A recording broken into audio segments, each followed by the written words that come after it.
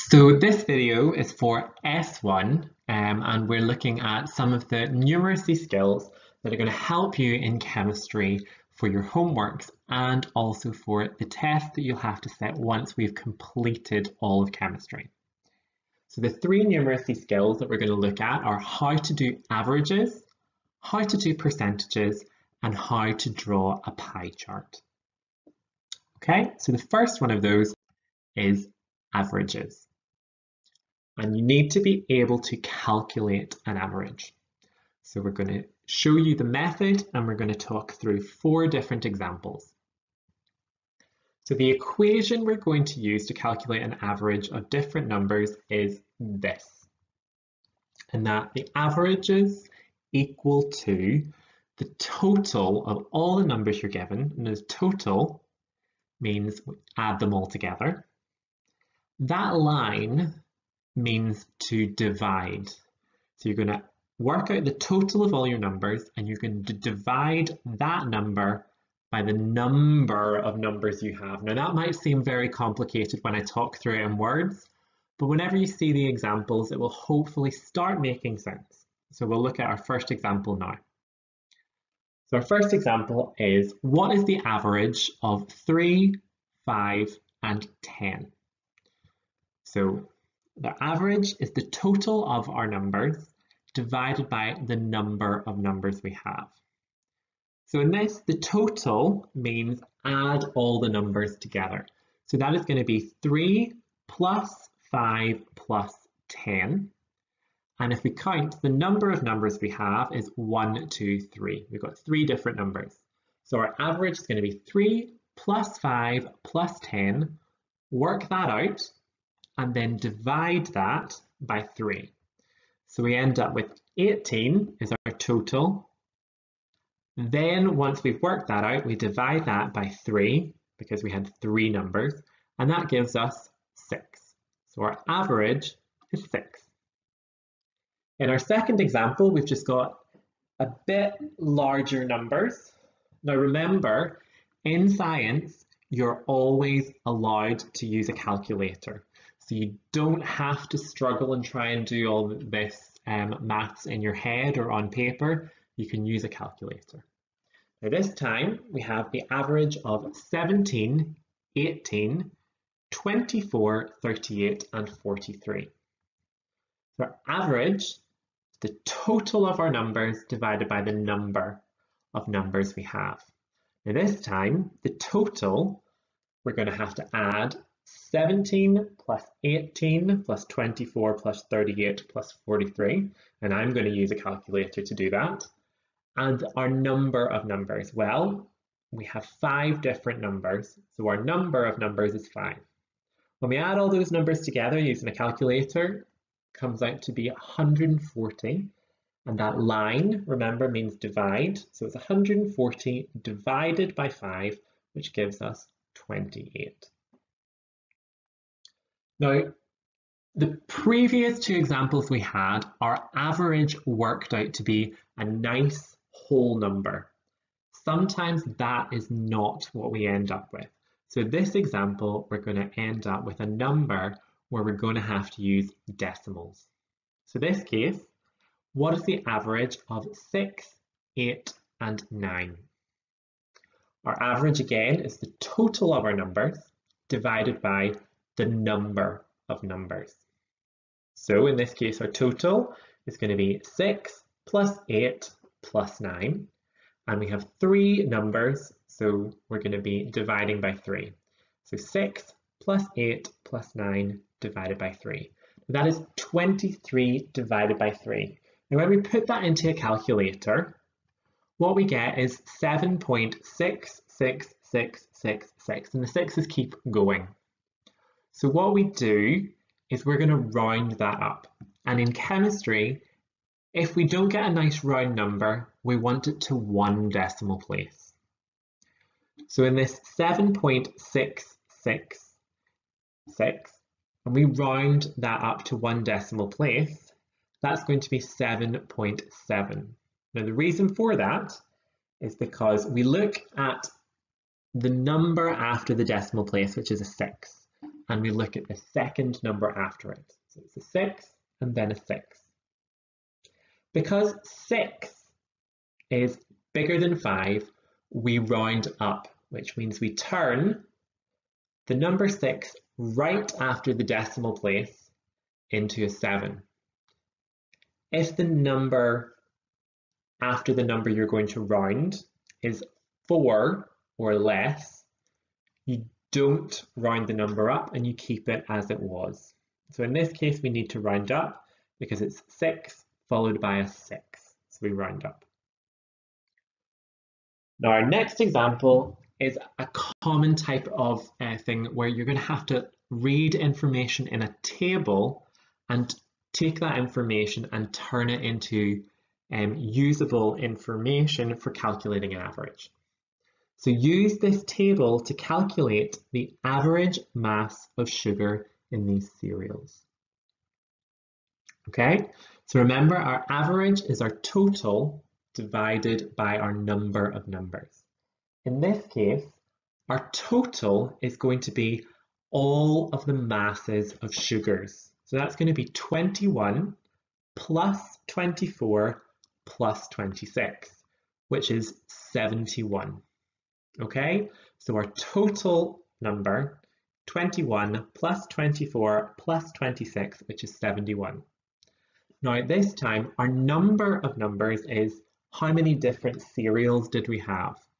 And we had cereal A, cereal B, and cereal C, so that's three different cereals. So that's 71 divided by 3.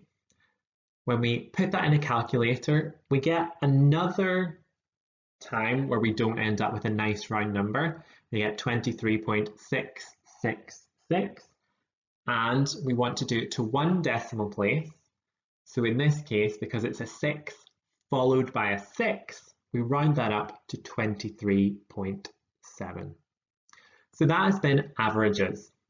What we're going to go on to now is percentages. So percentages is another type of calculation that we would like you to be able to do in S1 for all the sciences and in particular for chemistry. Now how to calculate a percentage, we use a different equation. This time, the equation we're going to use to calculate the percentage is the percentage is the number of things that you are being asked about divided by the total number of things you have and once you've done the number divided by the total, you're going to multiply that by 100. And that multiplying by 100 is what makes something a percentage. Okay, now that might seem complicated, but we'll go through a few different examples. So the most uh, um, simple form of percentage is if you're told a score in a test. So a pupil scored 16 out of 20 in a test. What is that as a percentage? So percentage is the number of things divided by the total of things, multiplied by 100. Now the number that the pupil scored was 16. The total possible mark was 20. So the number was 16 and the total was 20. So our percentage is 16 divided by 20 multiplied by 100. So we do that 16 divided by 20 first, and then we multiply by 100, which is 0 0.8. 16 divided by 20 is 0 0.8, and then we multiply that by 100, which gives us 80%. And we need to put in that percent symbol to show that it's a percentage. Okay? Moving on to a second example. In a second example, we've told that we've got a mixture of chemicals. And within that mixture, there were four elements and six compounds. And the question is, what percentage of the mixture was elements? Now remember, percentage is the number of things we were asked about divided by the total number of things and then we multiply that by 100. So in our question, we were asked, what is the percentage of the mixture that was elements? So our number of things is our number of elements. And our total of things is the total number of chemicals. Okay, so our number of things is our number of elements and our total is the total number of chemicals we had.